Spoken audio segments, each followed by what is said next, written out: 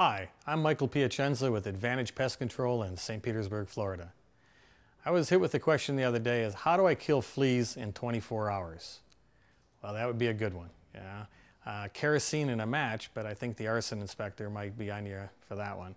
Uh, the problem with fleas is that they have four stages. Okay? Egg, larva, pupa, and adult.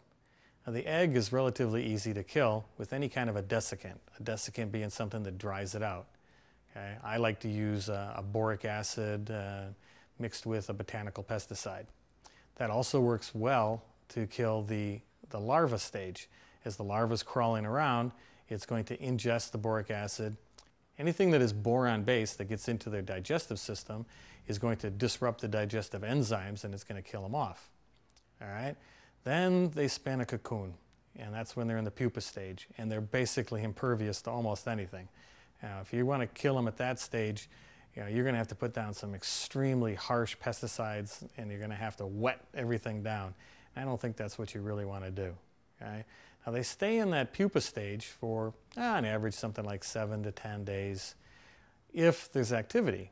If there's no activity, let's say you're off on vacation doing that Mediterranean cruise for a month, okay, and there's no walking around of you or the pets, then they're going to stay in that pupa stage just waiting. And all the eggs going to become larvae, all the larvae become pupa. This is going to be backing up. And you walk in still wearing your deck whites, and they're going to feel the vibration of your feet, and you're going to have fleas up to your knees, and they're all going to be hungry. So you have to understand that that is the toughest stage to kill them.